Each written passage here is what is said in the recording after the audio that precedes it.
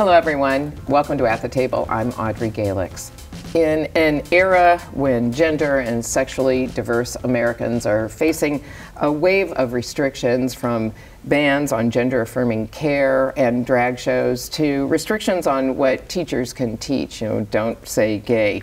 Uh, polls actually show that Americans are broadly on the side of LGBTQ plus rights and oppose discrimination.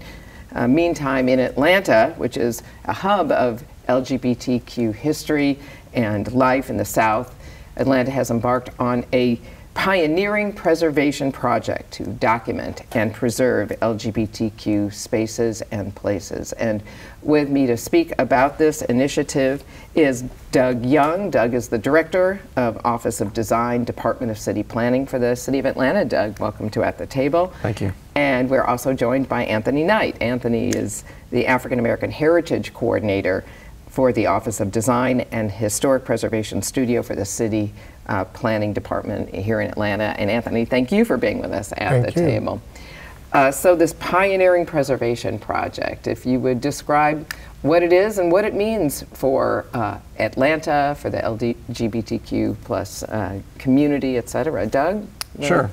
Um, well, um, the idea of documenting uh, LGBTQ history really is an outgrowth of our Future Places project, which, is, which was a comprehensive look about the city's historic preservation program. And one of the main tenets of that project was to figure out who's talking about history and who's deciding what's historic.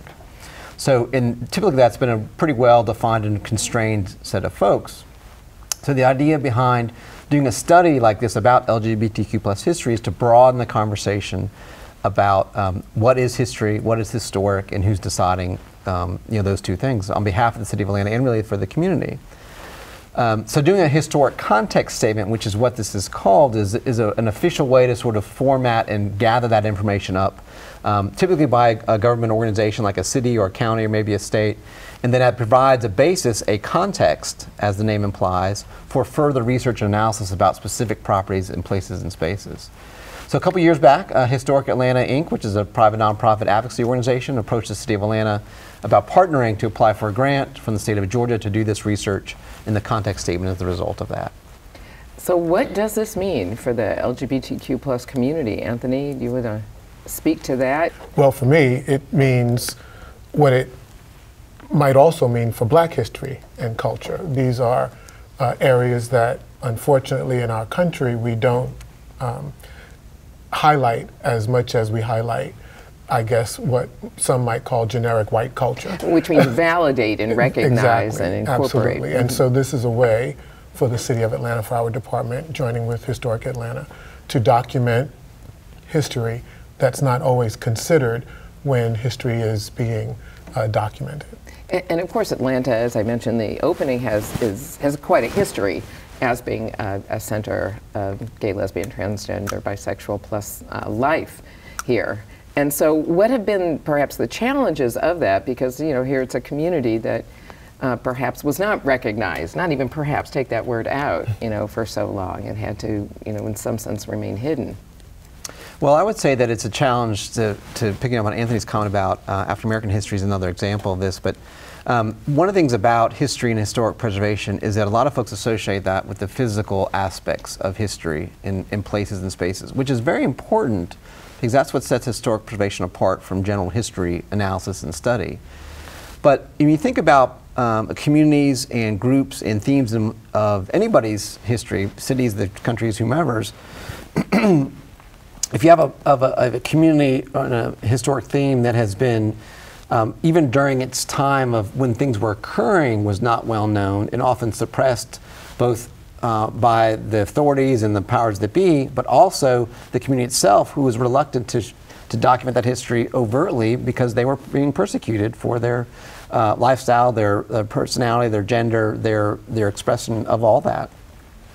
So you have a history that um, is not well known regardless, but then you have a, a type, a theme of history that is um, uh, uh, you know, behind the scenes even when it was occurring, was behind the scenes.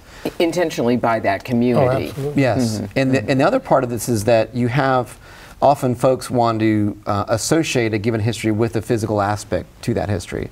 A place, a space, a kind of building, a kind of architecture, a type of, um, of uh, landscape architecture, for example. But in this case, as you might not be surprised, uh, folks who belong to the LGBT community are just like everybody else, so there's no specific kind of place or space that you say, oh, that looks like a gay or lesbian you know, building because they're just like every other building in the city of Atlanta. It'd be more the use of that building. Yes, and the people associated with that use. And that's a, a common issue with African American history as well. Correct.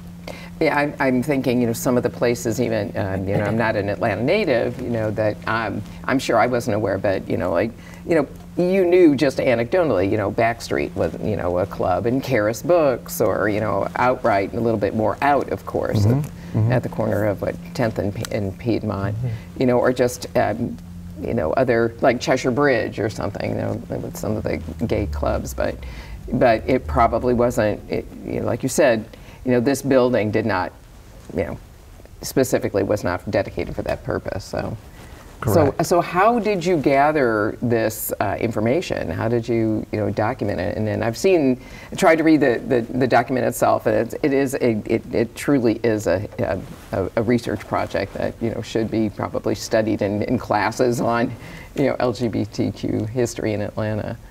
Um, one of the things that's interesting about this report is that, uh, in partnership with Historic Atlanta, we didn't we didn't expect nor think that we would be the authoritative source in LGBT history in the city of Atlanta.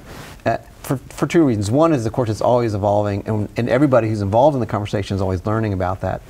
Uh, but uh, in addition to that, there's been a fair amount of work had already been done about LGBTQ history. What makes the historic context a little more unique is that it gathers it in one place, and more importantly, is that the city of Atlanta considers this to be its effort to step into that space, to step into that conversation. So it gives the city's uh, preemptor of, of, of um, you know, officialness, to use a uh, you know word that, that says yes, the city of Atlanta is saying that we are recognizing this history with this document, and we are doing with our partners and other folks involved. Um, So I suspect some like Emory, Georgia State, et cetera. so the, the research team uh, did a, a lot of work with uh, traditional archive activity, but I think the most important part of this is they actually talked to folks that had already started some of the work and did a fair number of oral interviews and um, uh, you know non-traditional research work that involved ephemera from the, the organizations and the businesses. So, Anthony, uh, uh, how were the African American voices included in this process? So one of the ways in which we worked to include African American voices was uh, back earlier this year. I helped to organize some oral history conversations among community members in Atlanta. Uh, and so that was kind of this afternoon of folks getting together, remembering the places and spaces that they frequented as young men. Most of them, at this particular conversation took place between men. Um, and so that was a quite in, invigorating and lively discussion, um, recalling the the places that they frequented, the history actually, which I'm not a native Atlantan, so way before I even moved here in the late 90s, um, things that they were talking about that took place in the 70s and 80s particularly. Um, but we also worked, one of the things that was important to me was that we also bring in the voices of students. And so we organized an event to help educate the students on the AUC campuses uh, about the project and to get their input. And so those were things that happened this year, but it's not the end. We, we will be doing more of that kind of work going forward. Now, now I understand that one of the uh, potential uses of this document, of this research, is to uh, apply for uh, National Historic Register uh, designation. But what are some of the other potential uses of, of this document? Yeah, there's, you know, as I, um, you know, it's important to understand that the historic context statement is the beginning of the next phase of the work and not just the end of the grant activity. So, you know, with the historic context statement provides the background, the basis for other, you know, kind of activities. One of them is continued education just about the topic of LGBTQ history in the city of Atlanta. So having community forums, as well as hosting events that would bring other folks to comment on the history, sort of reflect on that potentially along the way. Um, but to your question about the National Register designation, that's one kind of uh, recognition program that's offered by the federal government. The City of Atlanta also has local designation activity, which is all run by the office that Anthony's a part of as well. And that really can be part of the, the mayor's interest in, in, in increasing equity in the city of Atlanta by diversifying the voices and the kinds of places that are officially recognized by the city of Atlanta as historic or landmark places or spaces. So by working with the mayor's office and their team, um, which involves also the education and outreach, but you know designation work as well as uh, more old history programs, um, to try to use the idea of, idea of diversifying the conversation as a vehicle for improving equity in the city of Atlanta about whose voices are being heard in the conversation.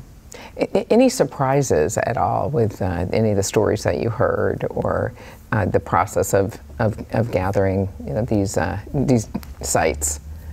I think one of the most important things for folks, sort of if the general public is reading the report, which is available on our website, is that, that LGBTQ history happened all over the city of Atlanta. And it wasn't just in the few neighborhoods folks might today associate, associate with that community. And um, that included all kinds of businesses and places and spaces. It, it, occurred in people's homes, it occurred in offices and restaurants and clubs and religious uh, institutionals locations, uh, government offices, but it also included places and spaces that weren't buildings as well. So you have congregating areas. Um, uh, 10th and Piedmont is one of them, for example. Uh, a lot of the city parks have LGBTQ history associated with them, as well as uh, city buildings. Um, so it's really, as you might imagine, uh, it's it's just it is it is history. It's not really separate history. It's part of everybody's uh, history in city of Atlanta. Any surprise? So one of the things that surprised me is that the folks with whom I interacted, I did not hear them talk a lot about some of the tensions between various segments of the LGBTQ community. And that was kind of surprising because uh, the LGBTQ, LGBTQ plus community is a microcosm of the United States, uh, if you say community of the United States. And so what I hope we will be able to do going forward is to have people talk more openly and more freely about those tensions because they are there. Um, all class class dis, uh, dis, um, distinctions between classes, between races, um, even between the genders. Um, and so I hope that we are able to use this document as a way to perhaps get at some of those other conversations that may not be as palatable and as easy to have.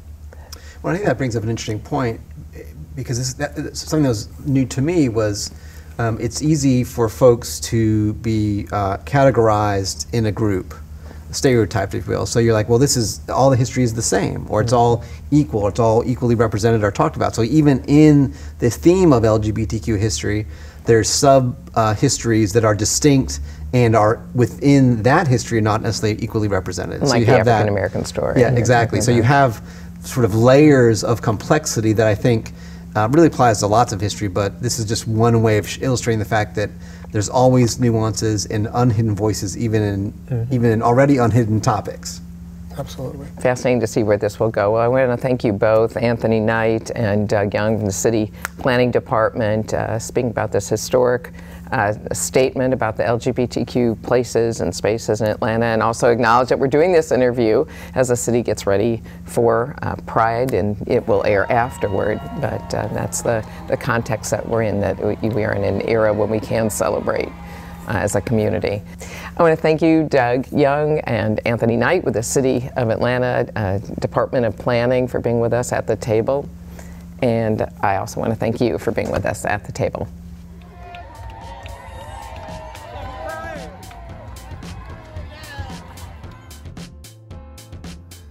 Welcome back to At the Table. I'm Audrey Galex. We've been talking about the historic context statement in the city of Atlanta to document the, the rich history of the LGBTQ plus community. And with me now to talk about that lived experience is Taylor Alexander. She is the executive director and co-founder of Southern Fried Queer Pride. Help us uh, understand uh, what Southern Fried Queer is, your, mm. your mission and vision. I know it has to do the arts and yes, and and we have been very blessed to have recorded you at mm-hmm. a big uh, variety show mm-hmm. that Southern Fried Queer is put on every year. Uh, Sweet Tea. Yes, Sweet Tea. Uh, so yeah, SFQP started in 2014. Uh, we began as house parties and meetings and coffee shops and things like that. Uh, basically, out of the need to create space for younger um, LGBTQ people of color. Um, at the time, Atlanta was very kind of hard to find that kind of community. A lot of the community is found in like 21 and up bars or things like that.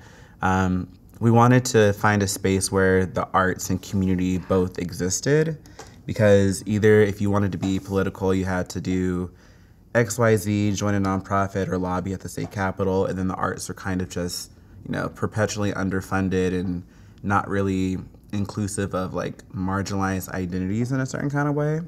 And so we began just as a festival in 2015. Uh, it was a three day festival held mostly in downtown Atlanta near the old South Broad Street Arts District. And then over the years, we've become a nonprofit. We've grown to a week long annual festival in Little Five Points, and we do anywhere from 40 to 60 events a year. So. And, and so, uh, how is it that the arts can ha- intersect then with, with the political realm and advocacy and education and helping people mm-hmm. to feel part of a community? Well, I think with art, you often look to it to be represented. And I feel like as if, you know, art is just another medium for activism, political information to exist. Because if you really look at, like, you take, for example, the the AIDS epidemic in the 1980s. You can't separate it from the music that was created that talked about those experiences. You think about Keith Haring and all of his work and how it kind of commented on the AIDS epidemic and the government's reaction to it. Um, even taking, for example, you know, the Black Lives Matter movement, there's music, there are chants, there is, you know, illustrations, there's, you know, video and film, there's, you know, so many different things that are artistic that associate with those movements. And, you know, I feel as if, you know, social justice movements, political movements have the message, and art is how you translate it to the people because it's a little bit more, you know, relatable for folks to grasp onto. So, yeah. I was just thinking that sometimes when you know the, the facts, the figures are just right in your face, it's very mm-hmm. hard to consume that. But Indeed. if something is you know put into a story form or some kind of other artistic expression, mm-hmm. you know people have that aha mo- moment. Yeah, or, it just clicks ah, with them. Yeah. Yeah, and so now um, SFQP has uh, actually, my understanding is you're looking for a space or you're creating an actual yeah. location. Mm-hmm. Um, what is the status of that, and where yeah. is it going to be, and what will it house? So it's called the Clutch Community Center. Um, it's named after an event that one of our past organizers created, Monte Carlo, who passed away in 2018. Uh, one of the core members of SFQP who just brought so much like life into it. Um, and we've been we've always wanted a physical space because Atlanta, even though it's like an LGBTQ capital of the South and of the country, we don't have a community center. We don't have like an all ages, you know, almost 24 7 kind of meeting space. Um, so we wanted to present that and create that for the community. Um, a lot of times, we as an organization have operated in like DIY venues or art spaces that have been very like welcoming, but we haven't had our own physical space. And so in 2020, in June of that beginning of the pandemic, we were like, well, let's go ahead and you know put up a fundraiser for it and start like collecting donations and kind of like talking about it. And I think because of the cultural moment of it being like the pandemic, but also the rise in Black Lives Matter protests and kind of like that conversation, it really picked up speed. And so fast forward till today, we've raised uh, over two hundred thousand dollars and we have been negotiating a lease with a space for the last five months. So we should have a decision by the end of the month. So crossing all my fingers that it happens. can, can we say where this location is or it'll be ideally well it's going to be in oakland city which is in the west end of atlanta so southwest atlanta uh, so this um, program is going to premiere after the 2023 uh, atlanta pride event yes. which is weekend of october 14th 15th um, what uh, what do you feel about having these large community corporate you know massive events like like pride is that Mm-hmm. has has that also felt made you feel like there is more legitimacy there's a, a wider sense of acceptance or you know Mm-hmm. and what battles still are to be fought and i know that there are, are many with the legislative attempts across the united Yes. states Uh, I think, for my opinion on kind of like the current state of Pride, I think that a lot of people look to Pride for visibility. They look to Pride for representation. Um, and of course, major corporations and organizations want to be a part of that. Um, personally, I feel as if people confuse visibility and representation with safety. Um, and for a lot of the members of our community, um, you know, black and brown folks, uh, trans and non-binary people, visibility doesn't always equal that. Um, so I think that's possibly a message. It's definitely a message that's being lost at Pride celebrations, and that you know this is an event that happens annually, but you know our trans and non-binary siblings are constantly facing struggles just like day-to-day violence or through legislation. Black and brown people, obviously, you know, who are queer experience homophobia, queerphobia, transphobia on top of anti-blackness and racism. So I think that the message that I would love to see put back or put more into Pride is having those deeper, harder conversations about, you know, we're celebrating ourselves in our community for this week, but the rest of the year, how are we, you know, supporting those marginalized communities not only in like resources but also just you know encourage safety. So i think that's something i would personally love to see more present at atlanta pride and all prides in general. And just as something that SFQP uh, could address, or what are your thoughts about using the arts to address the, the issues of safety and security? Yeah, so we do everything from uh, self defense workshops and classes. We do educational outreach to the trans and non binary community about how to keep each other safe. Uh, we have workshops and town halls on anti blackness and racism. Uh, there's always a method or form of like deep discussion that we involve sometimes. Uh, everything from like workshops and kind of like town hall discussions to you know parties and social events that are themed around uh, you know these specific issues. So we we incorporate it in our programming as much as we can. One of the notes that I had from uh, one of our former interns who, who initially connected with you had to do with the word joy. And I'm not, I, I think that may have been something she had spoken to you. How does, how does joy play out in, in the community and in the work that you do with SFQP? I think joy automatically comes from just being around like minded people that share common identities with you. Um, and joy is something that you have to seek out and find as a queer and trans person because so often it's hard to find just naturally occurring in the world. So joy is, you know, going to I think people find joy in our events where they come to a party and they see, you know, hundreds of people just dancing and having fun. Or when they go out to our yoga meetups in Adair Park and they see like 40 to 60 people just doing yoga on a morning. Or you know they come to our potluck series where if you're hungry and you just want a good meal you just show up and there's community. So i think we've always had joy at the center of what we do and what we want to give back to the community And, and, and, and looking back through, I guess, your life, I understand from you know, the interview that you uh, so generously shared with us when you were on uh, Art Comes Alive, you talked about your background in the rural Georgia. Yes. And then uh, a little bit about coming to Atlanta. Um, as you look back, perhaps even over the scope of, of, uh your life, you seem very young also.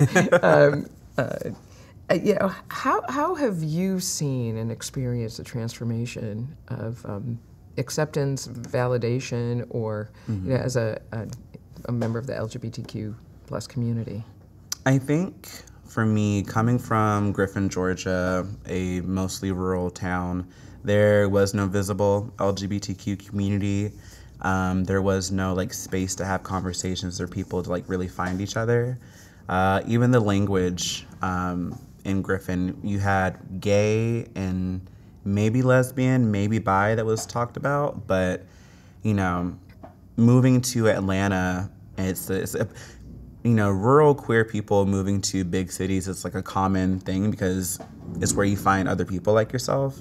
And so moving to Atlanta and finding people and uh, finding language, language and identities that I had not been introduced to gave me more of a permission to be myself. And so I think just, you know, coming into a space or to a city where there's a visible LGBTQ community allowed me to find my true self and be myself. So, yeah. I know my staff jokes about this. I think about a, about a half a minute, if I'm, I'm reading this correctly. Mm-hmm. I got to ask you about your just overarching hopes and dreams of the future. Oh, what, what would you like? What world would you like to see created for folks like yourself and future generations? I would like to see LGBTQ people continue to grow spaces where joy manifests, but also where we can dream up of a bigger and better future. I think the goals that we have right now are amazing, but I want us to dream bigger. I want us to dream better. And I want to see that happen in Atlanta, in a city that is rapidly changing. I want LGBTQ Atlanta to always feel like they have a space. And so I really hope that exists in the future. I hope that SFQP and our community center is a part of that. Um, but yeah, yeah. Taylor Alexander of Southern Fried Queer Pride, thanks for being with us at the table. Thank you. And thank you for being with us at the table. See you next time.